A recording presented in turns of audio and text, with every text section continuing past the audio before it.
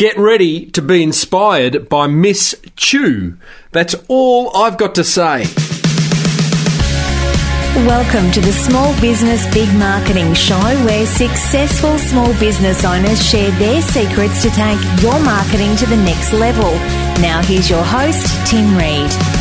Welcome back, listeners, to Australia's, if not the world's, number one small business marketing show. I am your host, Timbo Reid, but you, so much more importantly, are a very, very motivated small business owner ready to crank out some great marketing so that you can build that baby of yours into the empire that it deserves to be. And we are brought to you by the very good folk at Net Registry. And I also want to welcome everyone within the Flying Solo community. I am so, so excited about today's episode. I'm excited about every episode of the Small Business Big Marketing Show, but I have just knocked out an interview with Miss Chu, who owns a chain isn't the right word, but I'll say chain of Vietnamese tuck shops in Melbourne, Sydney, and London. And I don't know, it was just one of those interviews that left me singing. I'm feeling good about life. So, more on that in a minute. I am also going to cover on a less happy note, a contentious discussion about the way I treat listener feedback that is happening inside the Small Business Big Marketing Forum at the moment. And I am going to share some listener feedback because there is so much of it wonderfully stacking up that uh, I just have to do that. So uh, we've got a very big show. Strap in. Small Business Big Marketing with Tim Reid. Now, are you keen to get your online marketing sorted? Oh, sorry, Brian. It's part of the language now. One complaint I hear from small business owners a lot is that they can't catch a break with their online marketing. They'll be having the worst experience with their website developer, the site will keep crashing, the design is nothing like they wanted. I tell them they need to talk to Net Registry because they will get their online marketing sorted. You don't need to be a pro when it comes to the internet because they are. And they make it so simple and straightforward, this whole online marketing thing. Getting you a domain name, your website hosted, whatever you need to be able to market your business online effectively. Google AdWords, SEO, all that type of stuff. And better yet, because Net Registry are proud sponsors of the show and want to see small business owners succeed, you can take advantage of some fantastic exclusive listener deals. If you head over to smallbusinessbigmarketing.com, click on the Net Registry banner, those deals will be revealed. They're really good. They're about SEO, AdWords, and they are incredibly inexpensive.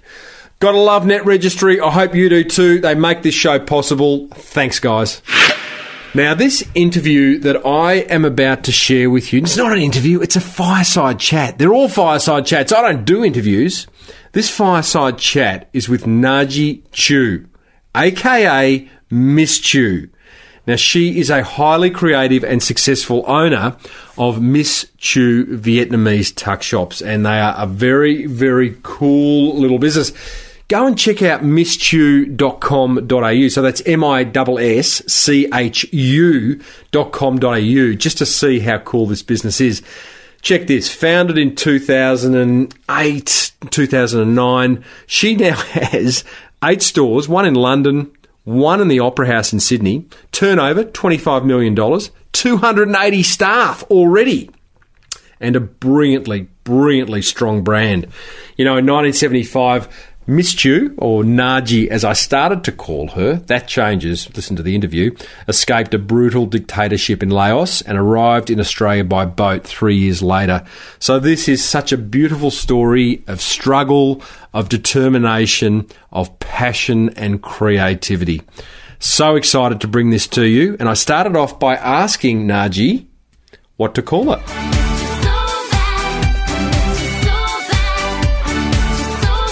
I keep it pretty simple, and I answer to Miss Chu. Right. What happens? When, what happens if and when you get married? It's Miss Chu because as a Vietnamese lady and as part of my culture, the woman always retains her maiden name. Ah. So I'll forever be Miss Chu. You will be. Yeah. Oh, I if, love I, that. if I marry a Mr. Backer, I'll be Chew Backer. Uh, insert boom tish. I love that. So I'm still looking out for Mr. Backer. Yes. Yeah, well, I'm going to make it now my life's mission to find Actually, you, Mr. um, Backer. Well, or, or Packer. James Packer will do, That'll I, I wouldn't mind being a Chew Packer. Yeah. Or we could find someone called E Gum. Chew E Gum, yes. Yeah. Yep. oh, this is See, well, this is the great thing about having a surname like Chew. yeah, exactly right. You can have a lot of fun. We clearly, and I want to come to this shortly, but you have a lot of fun with with your native language, your mother tongue, so to speak. I love the way you've integrated that into your brand. But let's come to that in a minute because there's many people listening from around the world miss Chu, and I'm going to call you that. It feels a little bit weird, but I'm going to go with it. Mm-hmm. There's many people around the world listening in who haven't been to one of your tuck shops. Yeah. So can you So explain? my, my real name's Nahji Chu, um, and surname being Miss Chu, C-H-U. Correct. Yeah. And how uh, lucky was that? Pretty lucky. Really lucky. Some things Yeah. are meant to be. Exactly. Can, can you You know, explain? it's like people say, if you get dealt lemons, sell lemonade.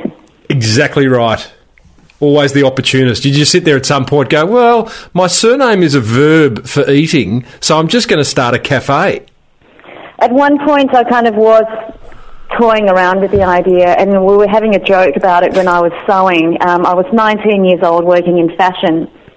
And uh, a friend of mine said, "Imagine if you had um, a catering business." Because I mean, I'm a you know I've, I worked in catering anyway, and even when I was 19, I was supplementing my meagre income by doing some catering work. And uh, a friend of mine was joking around, and he said, "If you had your own catering business, you could like your tagline could be choose, choose, choose." He was nearly there.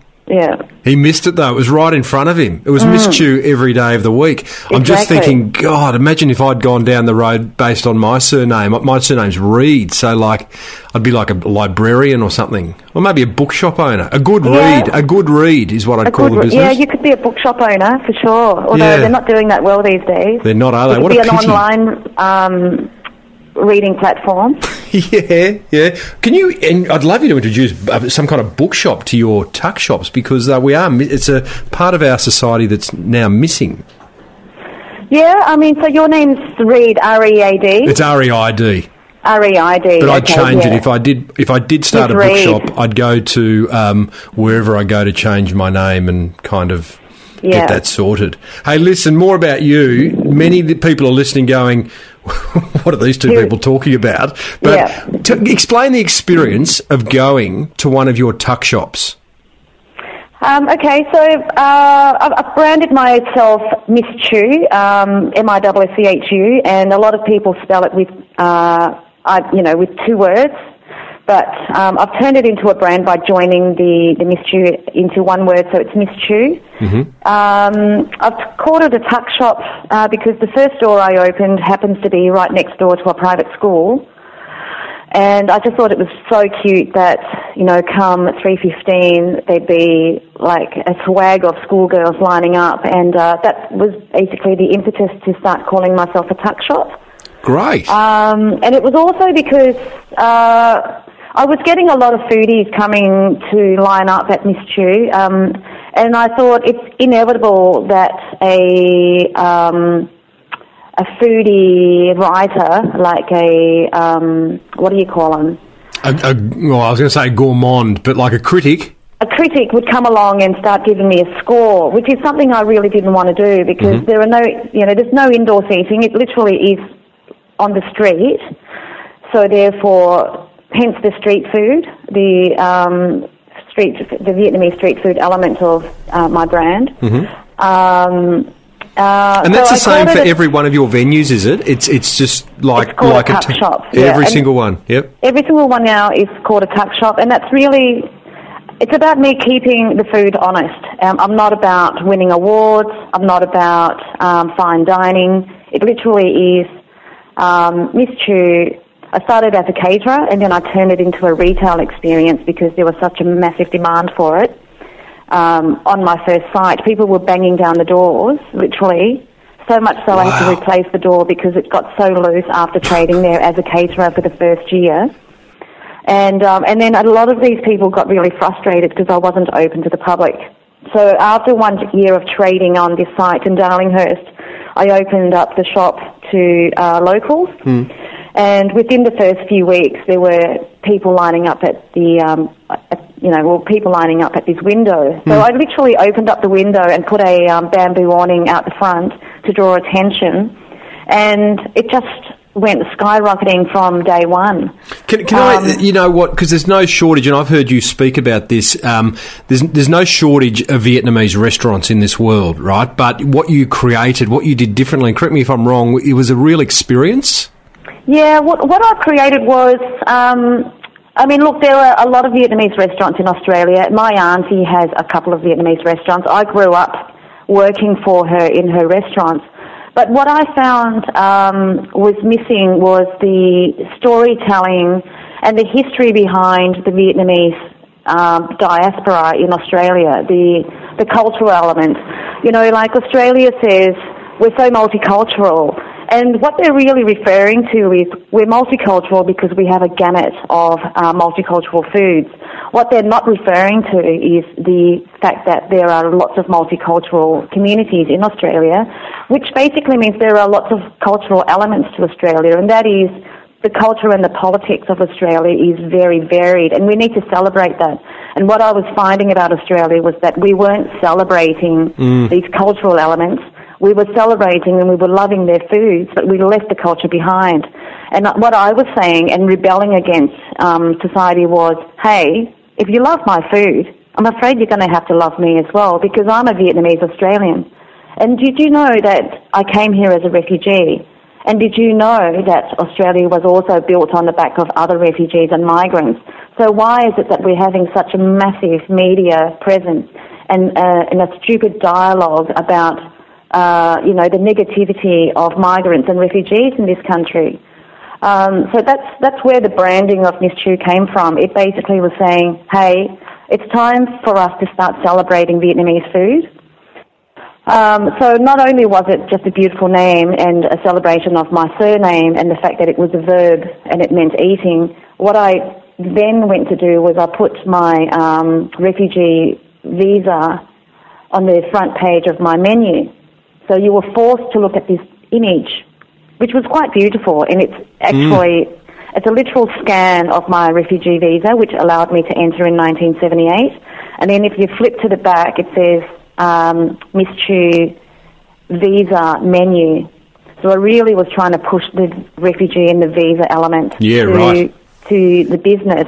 I wasn't a brand back then. This is, mind you, this is 2009. I'd only just started the business.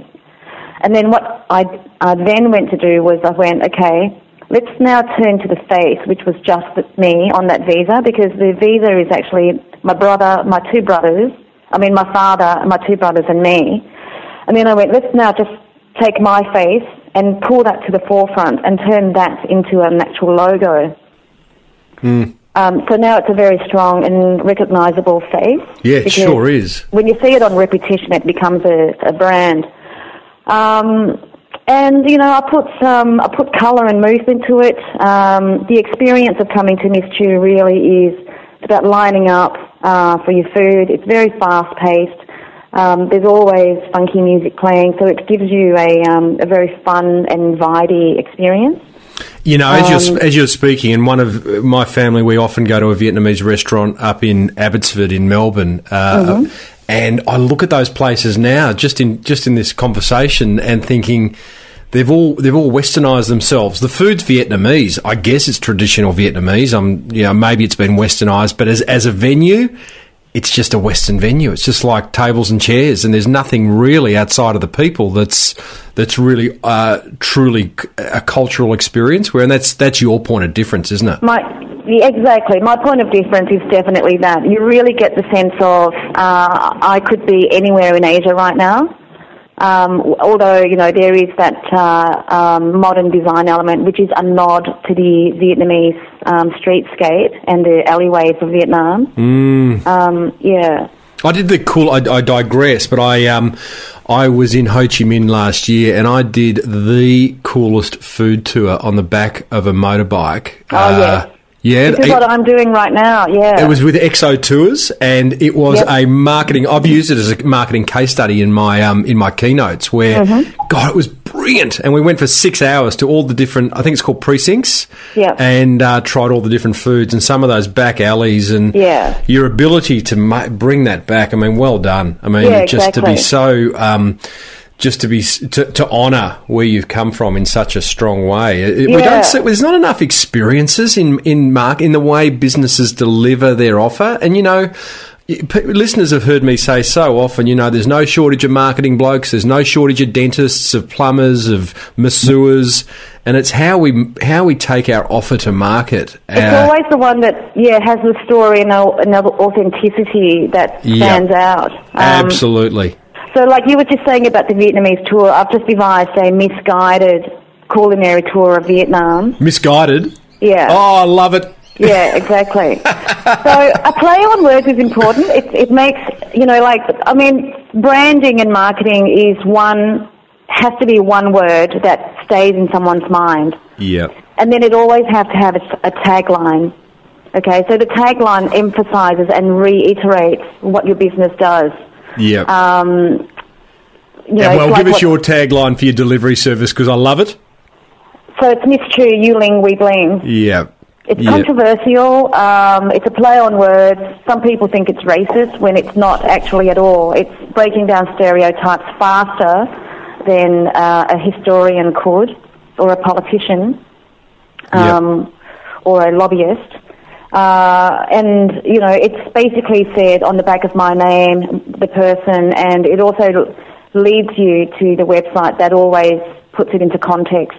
It's a Vietnamese woman, she does Asian food, and she brings you the food because she, she specialises in takeaways and home delivery. I, I, I love how you have the whole use of language of taking it's not taking the mickey because what I'm about to say on what you what you've written on your website says not to take the mickey. Let me explain. On your website you say we kindly request that you see this use of language by the Miss brand as a humorous toying with, not a handing over of power to those who wish to mock Asian accents and um, fully get that. And, but I, I I love how you've kind of seen the humour Yeah. in the way us Westerners maybe pronounce uh, and imitate, you know, the Vietnamese language or any other Asian language, but you've kind of turned it around and just made it fun. Uh, yeah, exactly. That's right. It has to. You have to do that. Um, it's the only way to get around a a negative issue, like refugees, for example. You know, it's a negative issue right now, but I've really turned it on its head, and I've made the word refugee fun and sustainable and viable and you know quirky, and um, I've made people look at the word refugee with a heartbeat. Um, I've put personality through the Vietnamese person and the Vietnamese brand. You know, so you know, once upon a time, people would uh, look at a Vietnamese store and go, "Oh, you know, let's." I mean, I love their food, but I, I hate their designs. You know, I hate the bright lights. I hate the Yeah. Um, I hate the dirtiness. And Yep. I've I've really corrected all of those issues, but still retained the culture, what it is to be a Vietnamese person. In fact, what I've done is I've celebrated and um, highlighted what it truly is to be a Vietnamese person in Australia. Mm, mm. Um, and I, I've celebrated it. You know, and, and I've asked people to come along for the ride and celebrate that with me because, I mean, you know, my success is actually all on the back of my customers anyway. I've got so many questions for you. but We've only got half an hour, I know, so let's I get know. to the crux of this half an hour, which is, what is it, marketing and branding. Correct. Well, that's where I want to go. So, another thing I've heard you say no market research or business planning around this business. It's simply an extension of myself. Is that true? It is absolutely true. I get out of bed and I'm me. Um, I happen to be very good at marketing and branding. Um, You happen to be also highly creative. Yes, that's true. That's true. Um, So, so what do you say to and and you know when we were when you were asking me, you know, what are we going to talk about? And I said, well, you know, I just admire the way you've built this brand so much, and I see many small business owners that haven't um, had the courage to own an idea or to even have an well, idea. this is it. You just nailed it. You have to own it. That's the one most important, crucial element of marketing and branding is to be a uh, um, what would they say uh, a disturber, Oh, yep, a disruptor. a disruptor. Yeah, Yep. because disruptors make people notice, but disruptors also must have conviction and belief. Yep. um, and you need to own that belief and this, this that disruptive um, message that you're doing. So Yeah. you can't do it for the sake of marketing. You're doing it because you actually believe in it. Um, so if you don't believe in your product, I mean, it's very, very difficult to sell a product unless you have absolute conviction in it.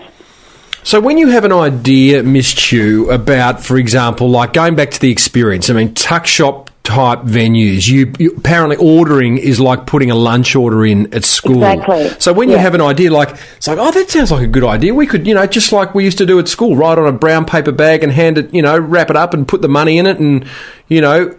So when you have an idea like that, which you know, in retrospect, in hindsight, that just makes sense. But when you first hear it, you go, well, that's a bit scary. No one does that. Oh, that's the that's the most amazing thing. That's a bit scary. No one does that. I find excitement in that. That's Yeah. the challenge. Yeah. If no one's done it before, that's it. You have to do something no one's done before. It, that's that's where marketing and branding happens. You've got to absolutely make sure that no one's done it before, and then you go to work and make it a really strong thing. Yeah. You start putting an image to it that's really strong. You own that idea and you say to the market, I am the originator of this idea, like I have done. I mean, look, it took a Vietnamese girl to come into this country and see the, the beauty in the name Tuck Shop. You know, I've made the word tuck shop very famous and very trendy now. Do you know how many cafes there are right now opening up and they're calling themselves a tuck shop? That's a Sydney thing. They, they copy up there. Yeah. I mean, they're doing it in Melbourne as well. Oh, are they? But um, I don't claim to have invented the word tuck shop, but I will lay claim to being the first woman in Australia to have taken the tuck shop outside of the school zone and make it a very viable venture and turn the word tuck shop into a brand. Yep. Yeah, and, Um, and again, own that word. Like, And you own it. Yeah. What about brand management, Miss Chu? Like how how I've come from a corporate marketing background of twenty years, and it's like you know brand managers are there. They're like the, the brand Nazi. You know, you can't. You got to use that color, and you got to use that font. You got to use that language, and you got to. Yeah. You know, are you do you stand over this and just make sure that Yeah. eh, yeah you're There's really only, um, strict? there, there are two people in my office. Um, today there's only me, unfortunately, because my PA works for an animal shelter part time because you know, like she she loves doing things like that. And then the other person who works in the marketing department is my graphic designer. And so our, we're the only two people who do brand management, marketing. I do my social media. Um, and what we say to our staff is, don't come to work in those shoes because it's the wrong colour. Remember, we have a hue that we all abide to. and Oh, wow. Grey, white, green, black. Uh, anything that's not within those hues will confuse the market. And it's very, very subtle. These nuances are really, really important. Um, all of our marketing that goes out has a, uh, a correct colour green. Um, everything is branded as a passport. Everything is branded as a visa. It's got stamps on it. Um, so I say to my staff, you know, when when the look and feel of Miss Chu is travel, passports, visas, refugees, school, tuck shop. Okay, if you un- if you put all those elements together, you will have a strong brand. Um, Do you have some kind of induction, or do you, Yes, you obviously we- employ people who get it?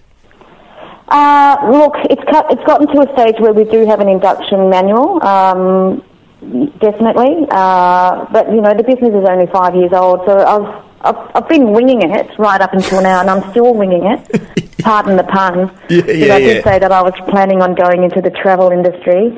Um, but uh, it's yeah, branding is branding and marketing is that know what your product is and then know how you want it to look. You must be absolutely sure of that before you start releasing yourself into the market.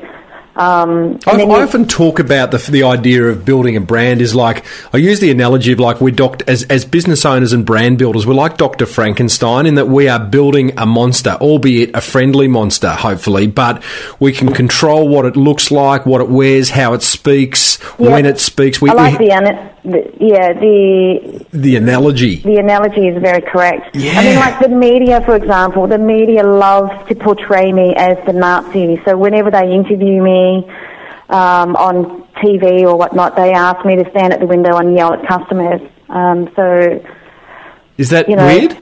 It, it's weird because I say to them, you know, that's actually really not the brand. Um, that's the person that you remember. And I know that that sells and that rates, but um, it's not me. I'm actually a very kind soul, and I yell at people, and I used to yell at people because they didn't get me.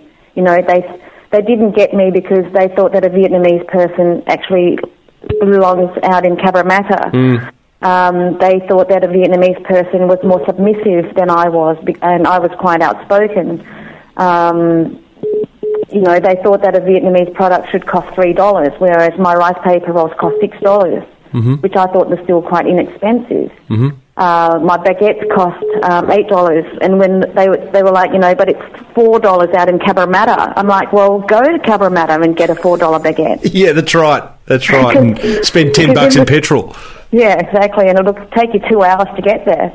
You, you have uh, you launched in 2009. Five years down the track, eight stores, one in London, one in the Opera House, 25 million turnover, 280 staff. Tell me about the longest sleepless night you had in that last in those last five years. Um, I probably can't say. I, I Which have one? had very well. Recently, I'm suing somebody for a large sum of money. Mm-hmm. So I'm having long and sleepless nights right now. Yeah, right. Yeah, um, Uh, and that's a business. That's a business thing. yeah. Yeah, right. Okay. Um, so we can't go into that, but what about in bringing the business? Maybe that is related to bringing the business to life. But early days, you started off with twelve hundred bucks. You, I don't how you start a business with that. Like, well done to you. But Oh, you- easy. You start small and let it grow organically. right. Reinvest the profits. Well, literally, I started with fifteen hundred dollars in my pocket. Um, I left the bank and I went on a Vipassana meditation course for ten days. I came out of those ten days and decided that I was going to make rice paper rolls and wholesale them to caterers. I looked up on the internet and uh, found the biggest caterer was actually at the Opera House. I rang up the executive chef and I said, "Hi, I'm new in town. I make rice paper rolls, canapé size. I'm really good at it, and I'd like a meeting." And he said, "Love your conviction." So I went and saw him the next day with a box of samples, um, and he said, "Love it. When can I have my first order?" And um, I said, "Tomorrow." And he said, "Where do you operate from?" And I, I blindly, I just lied. I said, "I have a commercial kitchen," and he said, "Yep, done." Actually, had I was making them from home in Balmain. Oh, I love it. And uh, so his first order was 30 rolls, and the second order was 120 rolls. By the second week, he was ordering 900 units per day. Three months down the track, he was ordering 1,500 units per day. And then by New Year's Eve, which was only three months after operating, um, I had three caterers call me. And overnight, on New Year's Eve, I was making 17,000 rolls within eight hours. And that was only three caterers. So I'd grown within three months from an order of 30 units to 17,000 units. And then uh, the first year's income was $90,000. Um, the second year's income was from the, the shop that I had hired in Darlinghurst, that's 2009. So the first year was 2008 from home. Um, so 2009 was when I went proper and hired a shop. You got serious. I got serious. What, at what point did you tell the bloke at the Opera House that hey, we haven't really got a commercial kitchen? I never did, never did. I just winged it, and I, I knew. But I, well, I just knew. I knew what HACCP was. I know that when you get to that stage, you have to have a HACCP license, which is ha- Health Hazard Analysis Critical Control Points. And I, you know, I've come from hospitality. I've been a caterer in Melbourne. Hmm. I, I have studied HACCP, and I have gone as far as you can go with health and um, hygiene. So I knew exactly what I was doing. I just needed to start from somewhere. Mm-hmm. And that's what I did. I started from a very small place and from home, and then just um, grew organically since then. Oh, Miss Chu, we, I, I have so many listeners that um, either are stuck, stuck in the cubicle with a big business idea that they're dying to bring to market. I have I could other. help them. I mean, I'm really good with names and how to brand. I love Um, they- naming too. they- yeah, exactly. Do you want to start They a can- naming business? Yeah, you know, I, I find excitement in that. Um, someone like someone made a joke with me. I was doing a talk at um, a conference, and this guy put up his hand, and he said, "Yeah, but I'm disabled, you know," and he had one arm. And um, how you know, like, what would you do if you were someone like me who's disabled, don't have much? And I said, well, you, you clearly you speak really well. You can ask a question really well. You've obviously got brains. You came to this conference to listen to me speak. You put up your hand and asked a question. The only thing you don't have is an arm. And I said, well, you know, why don't you sell arms? And he just stood there and laughed and went, sell you- arms. And said, yeah, sell weapons. Sell Ah, yeah, that's what I thought you arms meant. Yeah, yeah. you know, like just take the piss out of yourself Yep. and make it a marketing plan and turn turn a bad point into a really positive, strong point and really own it. There's not enough humour in this world, Miss Chu. Yeah, yeah. Humor, Mm. humor with um, with conviction and something that you know, like I I mean, a business has to have a heartbeat as well. Don't forget, it has to make a difference to the world. You know, like a yeah. cookbook. I mean, Jesus, you know, I don't have a cookbook. Does the world really need another Doesn't cookbook? need another one. Do not do one. we need we need another cookbook like we need another parking ticket. yeah, yeah. No, we're all Unless out of it's got a purpose behind it. Yeah, you know, I agree. So the purpose behind my next cookbook, and I'm still trying to get a publisher to agree with me. Mm-hmm. And I have found one. It took me 12 months for a publisher to agree that 5% of the profits has to go towards a philanthropic um, uh, foundation that I believe in. That was really a discussion. That's like a question. That's like, yeah, okay, fine. Next. Yeah, well, you know, so many of them said no way because as if your book's going to make a profit. And I said, well, I know it's not wow. going to make a profit, but at least, you know, what about 5% turnover? They said, no, that's way too much money. And I was like, Jesus, come on. Oh wow! You don't. Yeah, well, you yeah. just you find another publisher. In fact, what you do is self-publish, and then you will make a profit. Hello to all yeah, your then I publishers that I know. Self-publishing was going to take too much work. So what I did, eh, what I did in the end was, um, I said that five percent of the um, of the proceeds of the book will go towards philanthropy, and that'll come from my pocket. But five percent of the content of the book must have something that drives people to donate. I, don't want to finish this interview on a down note. I don't think it will be, but I'm fascinated to understand you have you you came from you had a tough childhood. That's an understatement. Um, you know, you arrived at Australia coming out of a Thai refugee camp, leaving your home country that was under a dictatorship. I mean, you know, like we don't have to go into great detail about what a dark place you must you and your family must have been in. Um, how how did you recover? your sense of humour and maintain it even today when you reflect back on those times. And I ask that for the bloke in the wheelchair and for other people who are doing it tough. Um, I think when you go through trauma, um, people deal with recovery in different ways, and I think a lot of a lot of people use comedy to recover from a tragedy, and that's what I've done as well. I think comedy is really important. Comedy, I think, is probably one of the most powerful medicines one could have. Oh, how, good is a good laugh? How it's like taking an, an ecstasy. Well, you know, like well, I, I used to in my youth, but I know I, I can remember the sensation. Yeah. And there's nothing Didn't inhale. like there's nothing like having a good laugh. It really just cures everything. Oh, it it's just one of the, the- stomach up. Yeah, yeah. Yeah. Love getting the giggles, particularly when it's an uncontrollable and your shoulders start to shake and, you know, it just becomes like, oh, yeah, well, Everything works. All the muscles in your Yeah. body work. Yeah. hey, listen, I can't wait to do. Uh, uh, listeners, Miss Chu and I are doing a road show around Australia for for uh, uh, for Westpac in the coming weeks. So we're going to have a lot of fun, and I think um, we should come up with some names. Maybe we just we're going to call the business Sticky Names. All right. Excellent. You happy with that?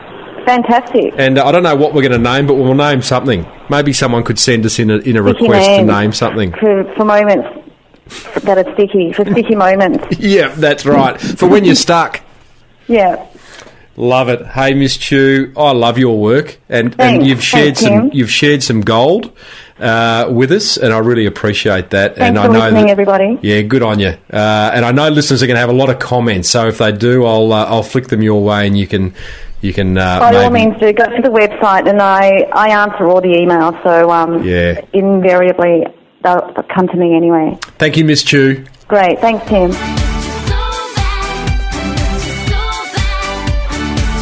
Wow.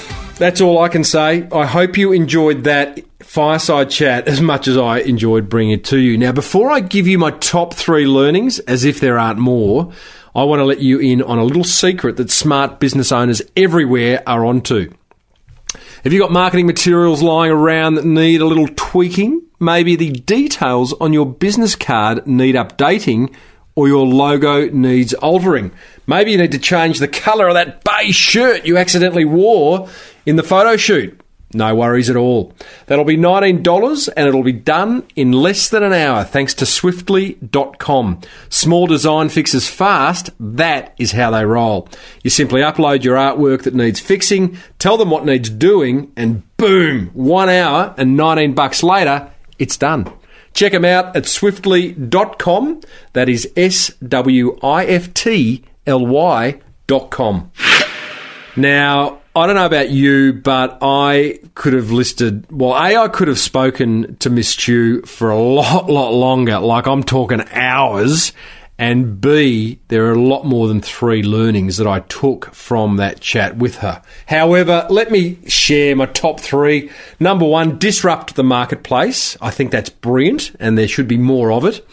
Number two, have conviction of your ideas. Own your ideas and really lean into them. You know, you might, you know, I love the fact, the other, th- well, the third tip, by the way, is if no one's done it, then it's a good idea. So come up with an idea. Ask yourself if it's done before. If it hasn't been done before, then guess what? It might be a really good idea. And there'll be naysayers. There'll be people who say, oh, don't do that. It's never been done like that. That could be really good reason to do it. And you kind of consider some past guests of this show and they've all disrupted the category. They've all challenged the category and they've all gone against convention. So I love that. I reckon there should be more of it. And I really would love to hear what ideas came out of that fireside chat for you. So head over to the show notes of episode 186 at smallbusinessbigmarketing.com and leave a comment, a feedback. Maybe there's a question you would have loved me to ask. I can always ask Miss Chu to come back and answer the question in the show notes. You know, maybe there's just something you want to feed back to me after that interview. I'd love to hear what you've got to say. Small Business Big Marketing with Tim Reid. Smallbusinessbigmarketing.com. Righto, so let's get stuck into this contentious issue that is listener reviews. Um, as I mentioned uh, a couple of episodes ago on Funny Business, I was talking to Griffo about the fact that. You know, uh, I got an email from one of my forum members actually saying, Hey, Timbo, I don't like the way you get celebrities to read reviews that you get on iTunes. And I kind of thought, oh, I think it's a bit fun. And Griffo and I agreed it was a bit fun. But inside the Small Business Big Marketing Forum, people are saying not so fun. And uh, here's some of the comments that I'm getting. Uh, Meppy Man, who started the conversation, uh, posted it in the forum, and he's got some support from the tribe. And Laurie's saying, uh, I'm with you, Mark, but uh, I don't hate them, but personally, I'd prefer just having Timbo read them. In case you don't know what I'm talking about, at the back end of episodes, I would get um, uh, people who can do celebrity uh, voices to read reviews that I get on iTunes. And um, I thought it was a bit of fun, but uh, clearly not. Uh, who else we got? Uh, Hop and Vine within the forum says they don't really do much for me. I tend to skip them. I'm much more likely to listen to them when Tim reads them out. Sarah says, I love hearing the testimonials. I think they should continue, maybe even before the outro, but I definitely think that it's nice for Timbo to read them. Happy Chappy says, I would prefer to hear Timbo read them. Danny, Danny says the same. Sean says the same. Sean goes as far as saying, the tribe has spoken, Timbo. So listen, um, yeah, that's fair enough. That's fair enough. The kind of overall feeling was that I was not giving them the love and attention they deserve and was cheapening them by getting celebrity voiceovers to do it. So, I am going to read some reviews, and I'm not going to re- read reviews just for the sake of, you know, oh, Timbo, love the show, you're ace. But I think there's learnings and uh, confirmation in them for you, the listener, to see what other people think as well and where other small business owners are at in their business. So, this one is from Sherry, and she says, Hey there, Timbo. Your ears must be burning on a regular basis. I love your podcast and anxiously, wait for Tuesdays to roll around so that I can get inspired and enlightened. It's a big learning for me, actually, um, that whole Tuesday thing. I do my darndest to get a show out each Tuesday and it's that regularity. So if you are into into the habit of creating content, then the idea is to push something out on a regular basis. And if it's going to be a Friday afternoon, then put it out on a Friday afternoon. If it's going to be a Tuesday, put it out on a Tuesday. But what happens is you develop an expectation amongst your readership, your listening audience, your viewers, whoever it may, whatever it may be, that oh, and they start to look forward to it, and that's a good thing for your brand. Uh, now, Cherie goes on to say, and I must tell at least two people a week about what I've learned. In fact, just emailing a link to one of your podcasts right now. That's great. Again, if you create useful, engaging content, people will share it, right? So compare that to advertising. No one rings you and says, Oh, I love that ad you put in the local paper. Do you mind if I email it to my friends? That doesn't happen. But if you create engaging content, it does. Cherie, back to Cherie. After my brave jump into the world of the startup, I found you. Now I take you with me up Mount Tabor. Each morning with my lovely Newfie, Abu. I'm guessing a Newfie's a dog, and I'm guessing Abu is the name of Cherie's dog. So, uh, what a lovely thing to do. I join lots of people on their walks. I hear from emails and things. You're awesome. You're great. You're generous. You're passionate about marketing, and it shows. Someday I hope to grow up and be just like you. That's all. Oh, thank you, Cherie. And Cherie's from Shoe Fits Marketing. All right. Uh, here is one from Brian, I touched on uh, this email in last week's episode. Uh, I think it's quite funny. So this is from Brian Morris. Now, Brian says, Hey, Tim, Brian Morris here. Firstly, I'd like to say thank you for your great show. The content is brilliant and always right on the money. And there's always a but, though, isn't there? Hey, here comes the but. I have been wondering lately if your sponsor, Netregistry, is a pommy business, as you almost always use a pommy accent when you say, get your online marketing sorted. and that really annoys him. I have to say, it's only a small grumble, but when you use the accent, I feel quite irritated. And I wonder if it could turn off some of their potential customers. I don't know, Brian. I think you're looking too far into it, mate if I get a whole barrow, a whole swag of emails saying, Timbo, if you say sorted one more time in a pommy accent, I'll stop listening to the show, then I will stop listening. But I'm not one for listening to the feedback of one and taking it to heart. It's when the majority speak, like they have in the forum about the way I have previously treated listener feedback. Um, Brian very kindly goes on to say, I listen to your podcast while I'm on my day job as a haul truck operator on the mines in Western Australia. I know a few uh, listeners who are doing that kind of thing. The great content is helping grow my little hobby business in my downtime, and I know in about 24 months' time it will be my full time gig. I sincerely hope this email hasn't offended you, as it really is a brilliant podca- podcast and your efforts are appreciated. Brian, I used to be easily offended. I used to have a soft skin. Now I've got a hard skin. Not offended at all, mate. Love the feedback. Love the fact that you reached out and um, and made contact because that's kind of what I like. You know, when you're talking behind a microphone in a dark, dingy room, it's nice to know that there are people out there who respond. This one is from Talita. I like this one from Talita. She says, Hey, Timbo, love your podcast. You know, I'm about to review it on iTunes. Love that. Thank you, Talita. Please, listeners, if you do get the opportunity, I, you know, if there's one thing you did for me besides, you know, send me to the tropics for a week, it would be to review my podcast on iTunes.